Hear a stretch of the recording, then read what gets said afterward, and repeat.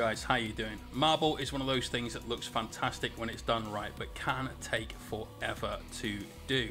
In this video though, I'm going to show you how to get marble that looks brilliant and get it done fast, which is much more important.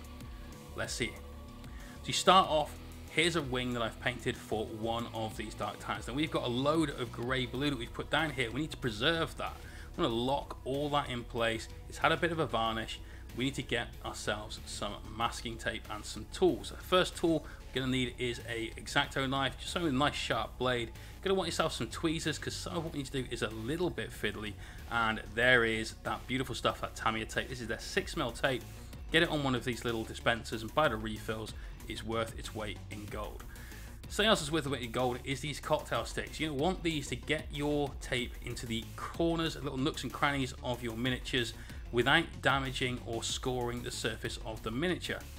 You don't want to have one of those issues where suddenly you're finding you've, you've damaged the paint job you've already done. We're trying to protect that and here's how we're going to do it. So you start off with a little bit of tape, find one of the areas you need to mask. Now remember, anything that you don't mask, you're about to paint marble. So if you've already got your paint job sorted out like I've done here, you need to do this step. So take the tape, get it into the recess, get it in there loosely with your fingernail. You know, just make sure it's, it's, it's nice and solidly pressed down. Then grab yourself one of those cocktail sticks and gently, don't try to score through the tape, but you know, firmly enough to uh, to press it right into that recess. You can even just flatten it down a little bit if you feel you need to, but get that tape right up to the edges. The more work you do now, the easier it will be and the less work you'll have to do later on when you're cleaning up any of the issues that have arisen from this. Once that's in place, carefully, obviously, you know, be careful using this sharp blade, carefully score, just using light pressure through the tape to cut right down in there. Now I am using the corner of that embossed detail and the absolute bottom layer there where we've put our paint down immediately as a guide and I'm following that guide along. Don't need a lot of pressure, you're not trying to cut through the mini, you're just trying to cut the tape. Now I'm going to hold that tape in place right there at the end with the knife while I start to pull this away with the tweezers. Now once you've done that, you can remove the blade. You basically don't need to pull up that little bit right at the very front there. There's a lot of adhesion, there's a lot of surface area. Strip that bit of tape away, there's the first one of our recesses, the first point of paint that we want to try and protect done. Here's all of it done. And now we want to start getting our first coat of paint down. We want marble with both black and gold veins. So I'm going to start off with some P3's Thamar Black, one to one mixed with Flow Improver. I'm going to paint the entirety of the area that we want to paint marble. It's really important that you have nice solid coats of paint down for all of the stages that we're going to be doing here. We're going to be basically doing some stencil work. There's our black, and here's our stencil. This is one of those like use once and throw away uh, like wipes, like cleaning wipes. Basically, dry it out, make sure there's no liquid left on there. You don't want to try and disinfect your mini, and just stretch it out a little bit, wiggle it around a little bit, keep doing doing it, keep manipulating it until you've got something that looks a bit like this, something a little bit like a net. Ideally, on a couple of larger holes in there, like we've got here, but you don't want the whole thing to be nothing but those big holes. You want to get a lot of variation. Now we're going to wrap our mini, or whatever it is that you want to paint marble, in this case obviously it's the wing, in this. Make sure it's nice and tight. You want it to be taut, like a toy gun. Do that all around to ensure that you've got nice, uh, solid contact with your chosen surface area. If that, uh, that stencil is a little bit off the miniature, then your lines won't have quite as much definition. Now I also want gold veins in my marble. We've all seen marble done. Quite often it's got more than one tone in it. So let's get a coat of gold down. Now what we're going to get after we've done this and after the gold has dried, once we unpeel that, carefully removing our stencil. Obviously we've got tape that this could stick to, we've got paint that this could stick to. Best to leave the paint to dry or just dry it down with a hairdryer. We will have a bit of marble that is gold with black veins. But that's not the finished result I want. So I'm going to wrap it again with another piece of that uh, that stencil, that uh, disinfectant cloth. We use some white ink. Now this we have thinned really, really thin. There's ink, there's flow improver, and there's water in the ratio that you saw on screen there.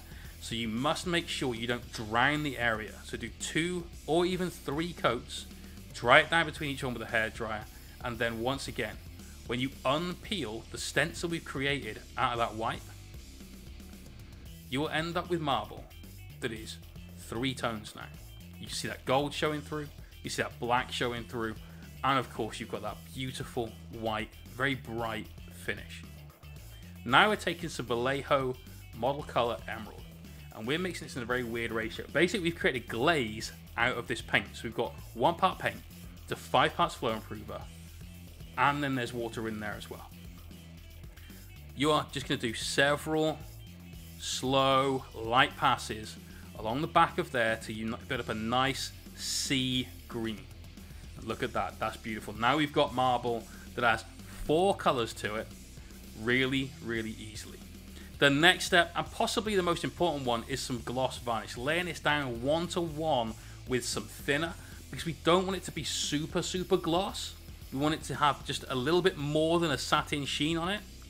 And there you can see that super, super shiny as it's wet. Once that dries, a lot of that will disappear, but it will protect all of that mild effect we've got. And now comes my favorite part. This is absolutely the best thing about working like this with all of that masking. It's taking the masking off. This is where you find out how good a job you've done on that mask. And ideally, there'll be nothing really to clean up. But get in there with your tweezers, start peeling off all that tape. And while I'm doing that, let me give a shout out to these clutch Patreons.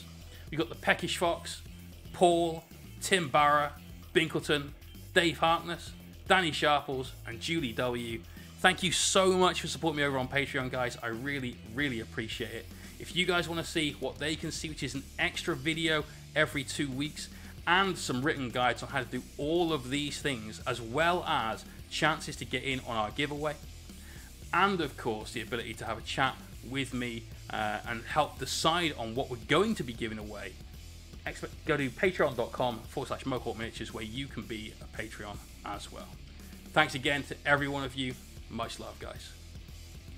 So once we've got all of that removed from our Mini, you, you can see already just how cool this is looking. This is absolutely the best part. Oh, look at that. So clean, so smooth. And when it's all gone, my god, is that not something else? But we're not quite finished. It doesn't matter how good your masking is, you've still got to do all of your washes. You weren't going to mask out this little tiny area. So let's get in here with some dark tone and just fill in some of those recesses. We're going to do that little box, do these little uh, embossed bits down there. We're going to get all of those rivets as well. And of course, we will hit that nice straight area around that leading edge of the wing just to show in some separation there. But also, look there, just in between our, our wings, our feathers there. See a little bit where the mask didn't quite cut it. So we're going to grab some coal black and some Thamar black mixed two to one just to drop into those recesses, even that out. I've been using Tamiya tape and masking minis for stuff like this for years. My knights are covered in hazard stripes, and you're still going to have this happen almost every time you're doing something with complex shapes. So plan ahead for it. Make sure you've got something you can use for your base coat, tidy them all up, and there you go, guys. Two wings done for the plane. These look absolutely insane. Let's get it back on the plane and see what it looks like.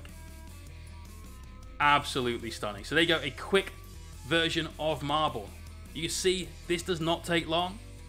Hopefully we'll see you for the next video. Peace out.